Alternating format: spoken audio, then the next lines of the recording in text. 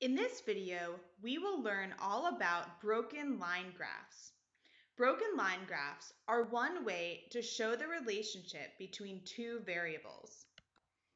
Broken line graphs are most often used to show a change in something over time, like a change in distance over time or a change in temperature over time. When you're making a broken line graph, you'll have specific points that you know and you can plot, and then you'll connect those with lines. Because you are connecting the points with lines, it really only makes sense to make broken line graphs for continuous variables that exist everywhere between specific points. So let's look at an example.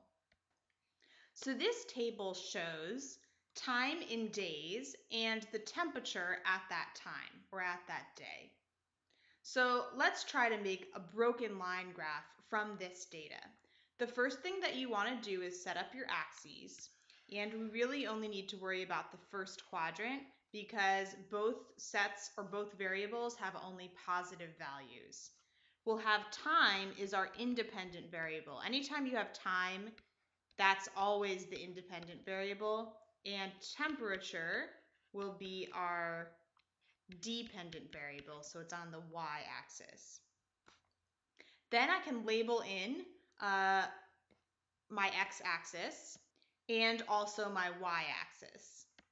Now I'm going to plot the points that I was given. So at zero days, the temperature was 60. So my first point will be right here. At 10 days, the temperature was 70. So I'm going to find 70.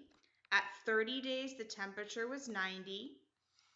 And I plot that point. 40 days, the temperature was 60. And 60 days, the temperature was 40. So now I have all these specific points, and I know that there was a temperature between day 0 and day 10. I just didn't collect any data on that but it did exist. So I'm just going to connect those two points with a line. That doesn't mean that at day five, it was exactly 65 degrees. We actually don't know that at all. But by connecting the points, it does let us sort of see more easily the trend over time of what happened. So we'll keep connecting the points with straight lines. So you connect every two points with a straight line.